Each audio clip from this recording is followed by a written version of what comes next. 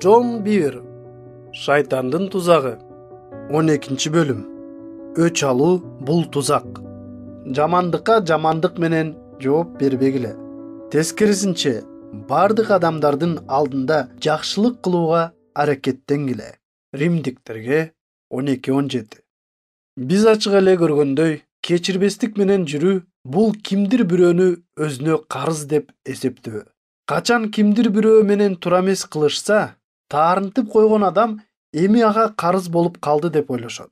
Ал кандайдыр бир төлөмдү акчалай же моралдык төлөмдү күтөт. Биздин сот системабыз жабыр тарткан жактын таламын коргоо үчүн кызмат кылат. Соттогу доолордун пайда болушу адамдар өз карыздарын жабууга аракеттенгендиктен улам пайда болот. Качан бир адам башка бир адамды таарынтып койгон кезде адамдык адилеттик мынтип айтат алар сот алдында келгенде күнөөлөрү аныкталса кылган иштери үчүн жооп беришет же төлөшөт. Кечирбеген малай анын жолдошу ага төлөп берүүсүн талап кылды. Ошондуктан аны сотко берди. Бул адилеттиктин жолу эмес сүйүктүүлөр өзүңөр үчүн өч албагыла. Тескерисинче кудайдын каарына орун бергиле. Анткени ыйык жазууда теңир мындай дейт. Өч меники мен тиешесин берем деп жазылган римдиктерге он эки он тогузда кудайдын балдары өзүлөрү үчүн өч ала албайт. Бирок качан биз кечиргибиз келбегенде так ушуга умтулуп жаткандай болобуз. Биз өч алгыбыз келип ошол тууралуу ойлоп жана аны ишке ашыргыбыз келет. Биз карыздарын толук төлөмөйүнчө кечирбей туруп алабыз. Бул компенсациянын өлчөмүн биз гана аныктагыбыз келет биз өзүбүзгө келген зыянды өзүбүз компенсировать этүүгө аракеттенгенибизде анда биз соттун абалында болуп алабыз бирок биз төмөнкүнү билебиз мыйзам чыгаруучу да соттоочу да бирөө ал куткара да жок кыла да алат жакыныңды соттогудай сен кимсиң бир туугандар соттолбош үчүн бири бириңердин үстүңөрдөн арызданбагыла соттоочу босогодо турат жакып төрт он эки жана беш тогуз кудай адилет сот. Ал адилеттүү соттойт. Эгер кимдир бирөө күнөө кылып анан чын жүрөктөн тобо кыла турган болсо анда ыйсанын галгофада төгүлгөн каны ал карызды өчүрүп салат. Силер балким ыйсага эмес мага жамандык кылышты да деп айтышыңар мүмкүн. Ооба бирок силер ыйсага кандай гана жамандык кылганыңарды билесиңерби силердин ар бириңер күнөө кылып жана өлүм жазасына татыктуу болуп турганыңарда ал эч кандай күнөө кылбаган кирсиз таксыз күнөөсүз курмандык болгон. Ар бирибиз мамлекеттик мыйзамдан да жогорураак турган кудайдын мыйзамдарын бузганбыз. Эгерде адилеттүүлүк менен жасай турган болсо анда ар бирибиз ааламдык эң жогорку соттук чечим менен өлүм жазасына өкүм кылынмакпыз. Балким силер башка адам силерге жамандык кылууга түртө турган эч нерсе кылбагандырсыңар. Бирок силерге кылган жамандык менен силерге кечирилген күнөөлөрүңөрдү салыштырып көрө турган болсоңор анда аны эч кандай салыштырууга да мүмкүн эместигин билесиңер мындан силердин кудай алдындагы карызыңар бир граммга да азайып калбайт. Эгерде силер өзүңөрдү алдангандай сезип жаткан болсоңор анда силерге кандай гана ырайым кылынгандыгын унутпагыла. Нааразычылыктын жана күңкүлдөөнүн күңүрт жактары. Эгерде силер байыркы осуят мезгилинде мага каршы күнөө кылган болсоңор анда менде да ошончолук өлчөмдө жазалоону талап кылганга мыйзамдуу түрдө укугум болмок. Ошондо жамандыкка жамандык кылуу менен карызды жок кылууну талап кылууга болмок. Лебийлер жыйырма төрт он тогуз жана чыгуу жыйырма бир жыйырма үч жыйырма бешти карагыла. Мыйзам жогорку сот болгон. Ыйса мыйзам астындагыларды бошотуу үчүн али өлө элек болчу. Карасаңар ал жаңы осуяттын ишенүүчүлөрүнө кантип кайрылган? Силер көзгө көз тишке тиш деп айтылганын уккансыңар. Мен болсо силерге мындай деп айтамын. Жамандык кылган адам менен каршылашпа. Оң жагыңа чапкан адамга сол жагыңды тосуп бер. Сени менен соттошуп көйнөгүңдү алгысы келген адамга сырт кийимиңди да бер. Сени өзү менен бирге бир чакырым жол жүрүүгө мажбурлаган адам менен эки чакырым жол жүр. Сураганга бер карыз сураган адамга тескери караба матай беш отуз сегиз кырк эки ыйса нааразычылык болгон ар кандай караңгы жерлерди жок кылат ал биз башка адамдарга кызмат кылышыбыз үчүн биздин мамилелер өч алуудан абдан алыс туруш керек деген. Качан бизге жамандык кылган адамдар менен өзүбүз эсептешебиз дегенибизде соттун ордунда туруп алган болобуз матайдан жакшы кабар он сегизинчи бөлүмдөгү өз жолдошун кечире албаган кул өз жолдошун кечире албай койгондо ушундай кылган. Анан кезеги келгенде ал кул карызды толук төлөмөйүнчө кыйноого берилип үй бүлөсү бүт бойдон сатылган. Биз адилет соттун ордун бошотушубуз керек. Ал чындыгына жараша берет. Бир гана анын соту адилет. Бир жолу мен флорида штатындагы тамптагы жыйында таарыныч тууралуу насаат айтып калдым. Насааттан кийин мага бир аял келди ал мурдагы күйөөсүн бүт таарынткандары үчүн кечиргенин айтты. Бирок ал менин насаатымды уккандан кийин өзүн абдан ыңгайсыз сезип жана мурдагыдай эле ичинде тынчтыктын жоктугун моюнга алды. Демек силер аны дагы эле кечире элексиңерби дедим мен ага жумшак гана жок кечирдим деди ал. Мен кечиримдин жаштарын төктүм силер ыйлаганыңар менен бирок аны кое бербеген болушуңар мүмкүн ал аны кечирдим деп ишендирип жатты. Мага андан эч нерсенин кереги жок. Мен аны кое бердим айтсаңар мага ал силерге эмне кылды эле? деп сурадым. Менин күйөөм жыйында кайтаруучу болчу. Ал мени жана үч балабызды таштап жыйындагы бир кызматчы аял менен кетип калды. Анын көздөрүндө жаштар пайда болду. Ал мага кудайдын эрки боюнча эмес үйлөнүп калгандыгын айтты. Анан кийин өзү менен чогуу качып кеткен аялга үйлөнүүсү кудайдын эрки менен болду деди. Күйөөм ошондой эле мага ал аял анын кызматы үчүн баа жеткис салым кошконун. Анткени мага караганда да ал көбүрөөк жардам көргөзгөндүгүн айтты. Ошондой эле мен аны сындаганымды ага тоскоол болгонумду айтты. Биздин никебиздин кыйрашындагы баардык күнөөнү ал мага жүктөп койду. Ал мында анын да күнөөсү бар экендигин моюнга алган жок деди. Ал адам азгырыктын туткунунда болуп аялы жана балдары менен таң каларлык мамиледе болгондугуна шек жок. Анын аялы андан чарчап жана ал өз милдеттерин аткарышын канчалык күткөн. Бул милдет алимент менен жана балдарды материалдык колдоо менен жыйынтыкталган эмес. Анткени анын жаңы күйөөсү алар менен камсыздап турган күйөөсүнүн милдетине эмнелер кирген? Күйөөсү өзүн күнөөкөр ал эми аны адилет деп сезишин каалаган. Сиз аны ал келип баардыгы үчүн сиз эмес ал күнөөлүү экендигин айтып анан сизден кечирим сурамайынча кечирбейсизби? Ошол төлөбөгөн карыз силерди кулчулукта кармап турат дедим мен эгерде ыйса биз ага келип биз туура эмес кылыптырбыз сен акыйкатсың бизди кечирип койчу дегенибизче күтө бере турган болсо анда ал айкашта бизди кечирмек эмес да.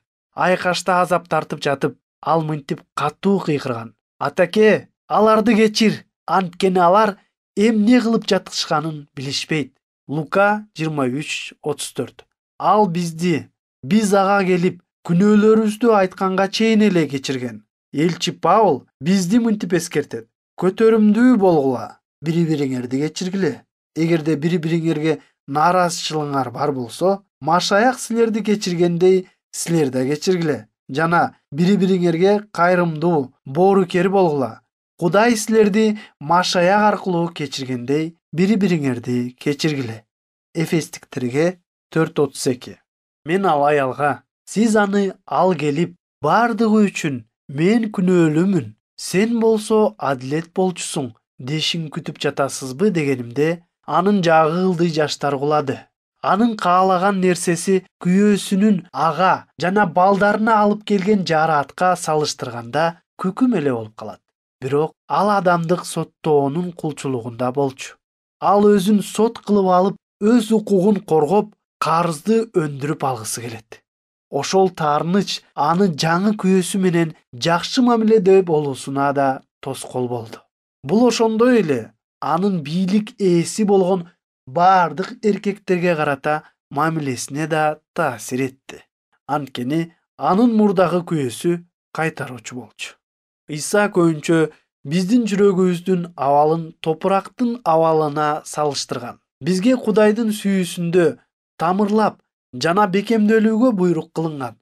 Ошондо кудайдын сөзү биздин жүрөгүбүзгө үрөн катары түшкөндө ал өсөт дагы акыр аягында чындыктын түшүмдөрүн берет. Ал түшүмдөр болуп сүйүү тынчтык кубаныч көпкө чыдамдуулук жакшылык момундук ишеним кайрымдуулук жана өзгөрүүлөр эсептелет галаттыктарга беш жыйырма эки жыйырма үчтү карагыла топурак ага эмне себилсе ошону өстүрүп чыгарат. Эгерде биз кудайдын сүйүүсүнүн ордуна карздын кечирбестиктин жана таарынычтын үрөндөрүн себе турган болсок оттоо чөптөр өсөт. Алар ачуу тамырлар деп аталат же ачуу ызанын тамырлары. Ачуу ыза тууралуу френджипейн эң жакшы аныктама берген. Ачуу ыза бул ишке ашырылбаган кек. Качан өч алуу өз чегине жетпей калганда ачуу ыза пайда болот. Бул тууралуу еврейлерге жазылган каттын автору ачык эле мынтип жазган. Бардык адамдар менен тынчтыкта болууга жана ыйык болууга умтулгула. Ыйык болмоюнча эч ким теңирди көрбөйт. Эч ким кудайдын ырайымынан ажырап калбашы үчүн кандайдыр бир ачуу тамыр өсүп чыгып зыян келтирбеши үчүн жана ал аркылуу көптөр булганбашы үчүн сак болгула еврейлерге он эки он төрт он беш. Ал аркылуу көптөр булганбашы үчүн деген сөзгө көңүл бурсаңар. Ошол көптөрү ыйса матайдан жакшы кабарда айткан акыркы күндөрдө көптөрү азгырылышат же таарынышат деген адамдар болушу мүмкүнбү. Ачуу ыза бул тамыр. Эгерде тамырды карап сугарып коргоп азыктандыра турган болсок анда ал бекемделип жана тереңдей берет. Эгерде тамырды дароо карабай турган болсок кийинчерээк аны жулуп салуу өтө кыйын болот. Таарыныч күн сайын өсө берет. Ошондуктан паул бизге мындай сөздөр менен акыл насаат айтат. Ачууланганыңарда күнөө кетирбегиле күн батканча ачууңарды баскыла эфестиктерге төрт жыйырма алты андай болбосо биз адилеттиктин түшүмдөрүнүн ордуна каардын таарынычтын наалуунун көрө албастыктын жек көрүүнүн ажаандыктын жана пикир келишпестиктин түшүмдөрүн көрөбүз. Ыйса мунун баарын жаман түшүмдөр деп атаган матай жети он тогуз жыйырма. Библия мынтип айтат. Таарынычты калтырып тынчтыкка умтулбаган адам акыры жүрүп отуруп булганып калат. Анан кымбат баалуу нерселер да акырында булганган кечирбестиктин ызасы болуп калат. Потенциалдуу падышанын булганышы. Биз силер менен бул китепте ал тургай шаул ишенимге ылайык эмес иштерди жасаган кезде да дөөт канчалык ишенимдүү болуп калгандыгы тууралуу карап чыктык. Дөөткө эки жолу ыңгайлуу шарт түзүлүп турган кезде деле өзү үчүн өч алууга аракеттенген жок. Ал кудайдын жүрөгүнө жаккан эркек деп аталган жана өзүн да шаулду да кудайдын таразасына койгон. Качан шаулга кудайдын соту келген кезде дөөт буга кубанган эмес. Ал шаул үчүн кайгырган анткени анын жүрөгүндө шаулга карата эч кандай ачуу ыза болгон эмес. Шаул өлгөндөн кийин дөөт тактыга отурган ал өлкөнү чыңдап каржылык жана аскердик жактан ийгиликтерге жетишкен тактыга бекем орношкон. Дөөт бир нече аял алган. Алар ага балдарды төрөп беришкен. Анын ичинде анын туңгучу амнон жана үчүнчү уулу абышалом да бар болчу. Дөөттүн амном деген уулу өзүнүн аталаш карындашы абышаломдун бир тууган карындашы тамарды азгырган ал калп эле ооромуш болуп атасынан карындашы тамарды ага тамак жасап берүү үчүн жиберүүсүн суранган. Ал тамактарын жасап берип бүткөндөн кийин ал кызматчылардын баарын бөлмөдөн кууп чыгып карындашын зордуктап салган. Ошондон кийин ал карындашын абдан жек көрүп калганда көзүнө көрүнбөй жоголуусун талап кылган. Ал падышанын таптаза кызын булгап жана аны уятсыздык менен жаап салган экинчи шемуэл он үчтү карагыла. Өз агасына бир да сөз айтпай абышалом карындашын үйүнө алып кетет да тамарды булгангандыгы үчүн амнонду жек көрүп калат. Абышалом анын атасы кандайдыр бир жол менен агасын жазалайт деп ойлогон. Дөөт падыша амнондун кылган кылыгын укканда абдан ачууланган бирок буга эч кандай чара көргөн эмес абышалом атасынын буга эч кандай чара көрбөгөнүнө абдан капа болуп калат. Бир кезде тамар падышанын таза кызы катары көрктүү кийинип жүргөн болсо эми ал уят менен шылдыңга оролуп калды. Ал абдан сулуу болгондуктан эл арасында абдан жакшы урмат сыйга ээ болгон. Эми ал күйөөгө чыгууга акысы жок. Жалгыз гана жашап калган. Анткени кыз эмес болуп калган бул адилетсиздик болгон. Анткени ал падышанын көрсөтмөсү менен амнонду тейлеп жаткан учурда аны булгашкан. Анын бакыты талкаланган. Ошол эле мезгилде ушуну кылган адам эч нерсе болбогондой болуп жашап жатты. Ушул оор кайгынын бүткүл салмагын ал жалгыз гана көтөрдү. Абышалом күн өткөн сайын кайгырган карындашына көз салып жүрдү канышанын бактылуу күндөрү тирүү укмушка айланды. Абышолом атасынын бул окуяга карата чара көрүшүн жыл бою күттү. Бирок дөөт эч кандай чара көргөн жок. Абышолом өз атасына таарынып калды жана ыплас амнонду да абдан жек көрүп калды. Эки жыл бою амнонду жек көрүп жүрүү анда өлтүрүүнүн планынын жаралышына алып келди. Атам кыла турган ишти мен кылып өз карындашым үчүн өч алам деди ал өз оюнда. Ал падышанын бардык балдары үчүн той жасады. Амнон дагы эч нерседен бейкапар бойдон тойго келди. Анан аны абышалом өлтүрүп койду. Ушундай жол менен өз кегин алган абышалом гесурга качып кетти. Бирок атасына деген таарыныч улам күчөй берди. Айрыкча ал падыша сарайынан алыс жүргөн кезде күчөдү абышаломдун ойлору ачуу ызага муунду. Ал дөөттүн кемчилдиктерин сындай баштады. Анткени менен атасы аны чакыруусун каалады бирок дөөт андай кылган жок. Бул дагы абышаломдун таарыныч отуна май койду. Балким анда мындай ойлор болгон чыгар.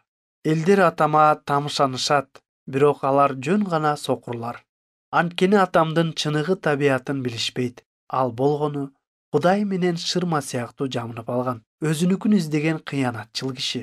Ооба ал шаул падышадан да төмөнүрөөк. Шаул амалыктардын падышасын жана семиз койлор менен ноопаздарды жок кылбай койгондугу үчүн тактыдан ажыраган. Менин атам болсо ага берилип кызмат кылган жоокерлеринин биринин аялы менен ойноштук кылды. Анан ал кишини өлтүрүү менен өз күнөөсүн жапты. Ал өзү да киши өлтүргүч жана ойноштук кылган бузуку киши ошондуктан да ал амнонду жазалаган жок. Анан ал дагы өзүнүн кудай теңирге табынуусу менен жашырынат. Абушалом гесурда үч жыл бою кала берген. Үч жыл өтүп дөөт сооронуп улуу амнон үчүн кайгырбай калды. Жояб падышанын абышоломду үйгө чакырууга көндүрдү. Бирок дөөт мурдагыдай эле абышалом менен жолугуудан баш тартты дагы эки жыл өттү. Анан дөөт акыры ага өзүнүн ырайымын төгүп ага бардык даражасын кайрып берди. Бирок абышаломдун жүрөгүндөгү таарыныч мурда кандай болсо ошол бойдон кала берди. Абышалом чеберчилик менен кубула алат эле. Абышалом амнон менен жаман жакшы айтышкан жок. Бирок карындашы тамардын абийирин булгагандыктан амнонду жек көрүп калды. Экинчи шемуэл он үч жыйырма эки көптөгөн адамдар абышаломго окшоп өзүлөрүндөгү таарыныч менен жек көрүүнү билгизбей жашыра алышат. Ушундай таарынган абалда баарына сыноо менен мамиле кылган абалда болуу менен. Абышалом ким падышага нааразы болсо аларга көңүл буруп убакыт бөлүп ар бир адамдын арыз армандарын уга баштады. Ал ыйлап туруп эгерде ал падыша болгондо баары башкача болмок экендигин айтты падышанын буга убактысы жоктой болгондугунан улам ал ысрайылдыктардын баардык иштерин талдап карап чыгып жатты. Балким абышалом өзү дагы алардын иштерин карап аларга көңүл бурганын себеби ал өзүнүн ишин дагы адилеттүүлүк менен карабагандыктарынан улам ошенткендир ал эл үчүн кам көргөндөй болуп көрүнүп жаткан. Библия абышалом өз атасы дөөттөн ысрайылдыктардын жүрөгүн уурдаган деп айтат чынында эмне болду эле? Ал чынында эле эл үчүн кам көрдү беле же аны таарынткан дөөттү сындыргысы келди беле бөтөндөрдүн катасынын эксперттери. Абышалом ысрайылды өз тарабына буруп алып жана дөөткө каршы көтөрүлүш чыгарат. Дөөт падышага өз өмүрүн сакташ үчүн иерусалимден качып кетүүгө туура келет. Баардыгы абышалом өз падышачылыгын орнотчудай болуп жаткан. Ошентсе да дөөт аны тирүү калтыргыла деп буйрук бергенине карабай абышалом өлтүрүлөт. Абышаломду өзүнүн жеке таарынычы жана ачуу ызасы өлтүрдү. Ушундай потенциалы жана мүмкүнчүлүгү бар тактынын мураскору күч кубаты ашып ташып турган маалда өзүнө карыз деп эсептеген атасын кечире албагандыктан каза болду. Ушунун натыйжасында ал булганды. Лидерлердин жардамчылары лидерлерге таарынышат көп өтпөй алар өзүлөрүнүн баардык лидерлеринин же лидерлер дайындаган адамдардын каталарын караган эксперттер болуп алышат. Алардын аяндары бузула баштайт. Алар эми такыр эле кудай карагандай карабай калышат. Алар айланадагы адилетсиз лидерлерден айланадагылардын баарын бошотууну өзүлөрүнүн миссиясы деп эсептешет да капа болгондорду нааразы болгон адамдарды өзүлөрүнө топтой башташат. Алар муну моюнга алгычакты абышаломду кандай болгон болсо так эле ошондой болуп жыйында же кызматта бөлүнүү пайда болот. Кээде алардын байкоолору туура жана так болот балким дөөт амнонду бирдеме кылышы керектир эле.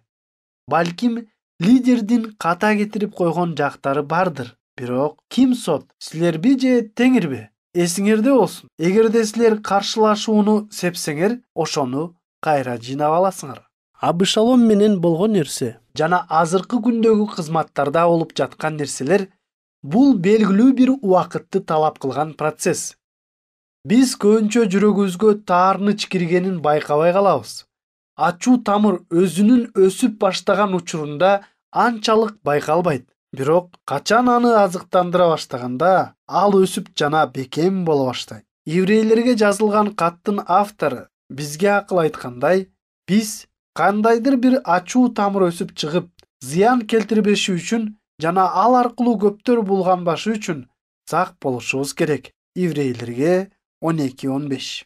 Ал бизди оңдошу үчүн биз өз жүрөгүбүздү изилдеп жана өзүбүздү теңирге ачышыбыз керек. Анткени анын сөзү гана биздин ойлорубузду жүрөгүбүздүн ниетин билип жана соттой алат. Еврейлерге төрт он эки.